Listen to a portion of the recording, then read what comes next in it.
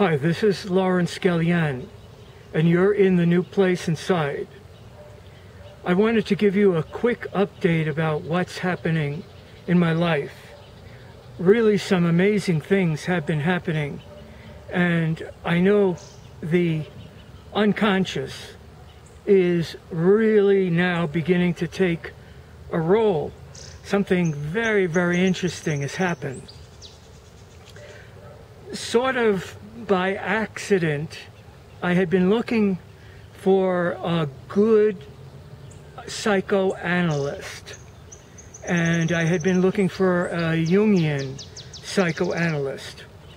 Well, just uh, a couple of days ago, I had my first session with a Lacanian psychoanalyst. Now, I'll repeat that Lacanian. That, and that's Jacques Lacan, if you don't know. For some reason, he's not known in English speaking countries, yet he was one of like the big three Freud, Lacan, and Jung uh, that transformed psychoanalysis. So it's very strange. He's known in European countries, he's known in uh, South American countries where he's extremely famous uh, throughout the world, but for some strange reason, he is not well known in English speaking countries, the United States, England, whatsoever. So, well, what's the deal with this Jacques Lacan and what happened? Well, I didn't know really shit about him. Uh, I had heard the name. Really nothing more than that.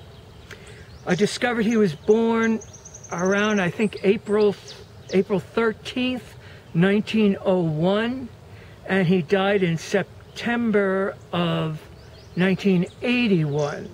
So that's 1901 to 1981.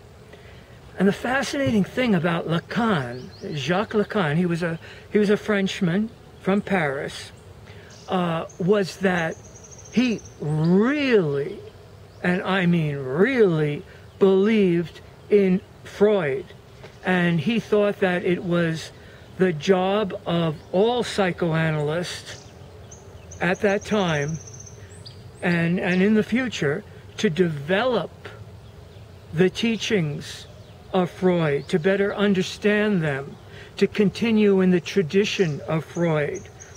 Uh, there are many Lacanian psychoanalysts and specialists that don't even consider that Jung was part of this whole movement. They thought that Jung had really gone off on his own path, uh, and it is true that he was thrown out of the, I think it was called the Psychoanalytic Association by Freud. So, um, anyway, Jacques Lacan, he's not very known for various reasons. One is that he's very, very difficult to understand his writings, and uh, he gave he gave many talks. He really didn't like writing books.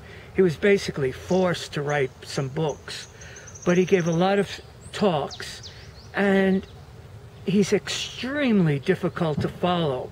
Unlike Freud, which is kind of interesting because it, Freud was his hero, but Freud is like uh, well, Freud was a true author besides being uh, uh, well, the, the discoverer of psychoanalysis, psychoanalysis.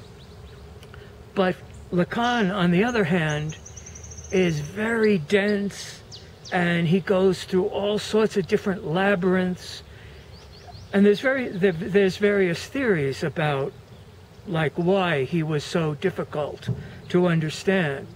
Some people say that it was out of uh, humility that he didn't want to write in stone or put into stone his ideas because he saw the work of Freud as something that is evolving and will evolve throughout the future.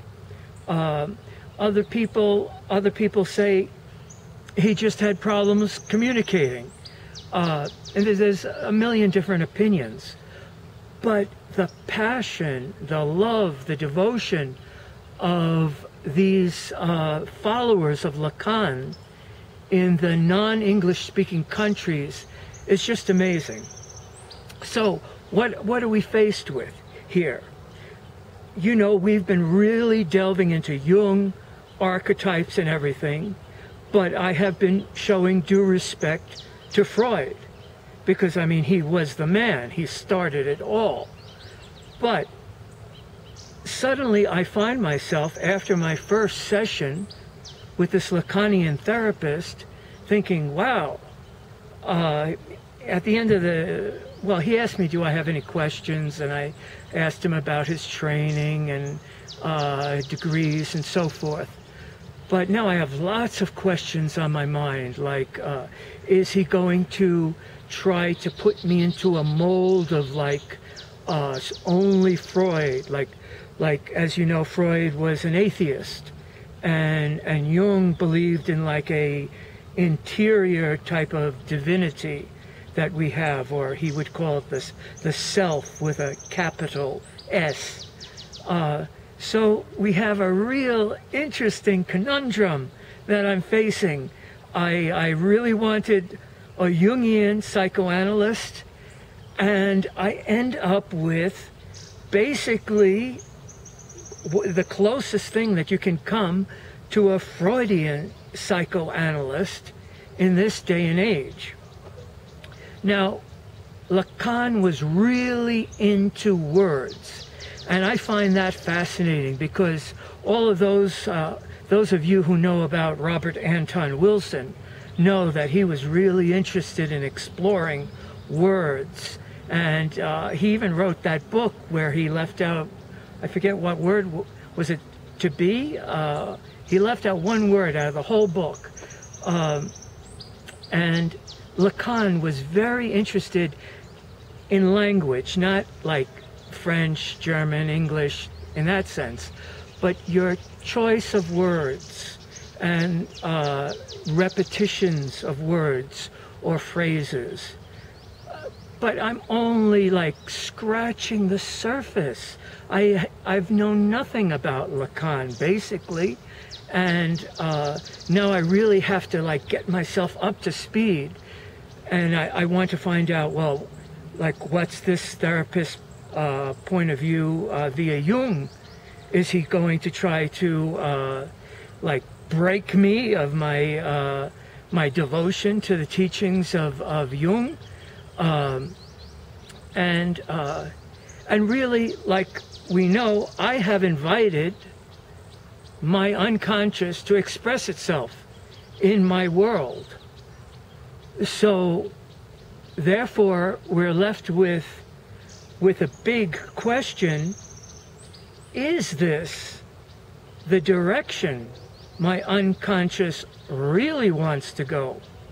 In spite of all of my spiritual thoughts and uh, my past with various religions, maybe my unconscious wants me to be with an atheist therapist or analyst. So I don't know yet. We just had our first meeting. I respect the guy.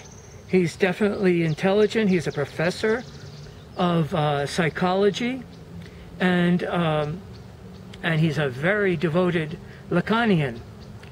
So I just wanted to bring you up to date on on what's happening. This is like this is like a big wave just crashing over me because like you know we were like really into this Jung and our archetypes and so on and so forth. And then suddenly I'm faced with this man that is saying like, uh, oh, I'm a, uh, a, follower of Lacan, who is an atheist, uh, who was, uh, and there's even debate. He, he, he talked, Lacan, Lacan changed the definitions of words also, which is strange if he was so interested in being precise about words, uh, we, we find that he actually changed the definitions of various words. So you have to learn what they call the Lacanian vocabulary uh, to to learn all his terms. Like Freud had the id, the superego, and ego, but Lacan has different meanings for that. Uh, and uh, he, he was very much into the naming of a person. That was very important. And, and you know, those of you who have been following me for many years, know that I was born, I was, I was adopted. So originally I was born out of wedlock, but my mother named me Joseph Anthony, which is very, very rare for those days to give a child up for adoption a name. But they legally put that down on my birth certificate. When my adopted father adopted me, he put his first name in front of the other two. So legally, I am Laurence Joseph Anthony. And uh, then, as I grew through my 20s and 30s, I really wanted to change that last name, Galliano. And I even was thinking of changing the whole ball of wax. So I went through various names. One, uh, one of them was Val Sage. Another was from the Latin, gar geniture, which means to cause to become. To cause to become, to like, sort of like God saying, let there be light, something like that. So, um, uh, yeah, I've like been, I have a history of trying to rename myself. And finally, a poetess invented Galian. And originally, she wanted to name me Tristan Galian because I love Wagner's opera Tristan und Isolde. But I thought, oh, that's a little too far from my original name. I'm not so comfortable. So I settled with Laurence Galian. I don't know if this has any meaning. I'm sure to a Lacanian psychoanalyst it has a gigantic meaning, but let's find out. I just want to give you this quick update and uh, let's explore Lacan a little bit. I think it's really worth worth our while because if Robert Anton Wilson thought he was worth exploring, I think he's worth exploring. So, uh, let's go. Let's continue our work. I'm here with you. I haven't changed. This is a website about the self-actualization of men, about creating a better life for yourself and a better life for me. I'm, I'm included in this equation. So thank you very much. Please subscribe if you've done it already. I thank you very, very much. Hit that bell icon so you'll be notified because for some reason subscriptions just don't cut it anymore. You need to also hit the bell icon. And I would be very, very grateful if you would do that. Okay, everybody, take good care of yourself, please. Uh, love yourself. Respect yourself. Honor yourself. And be a real man.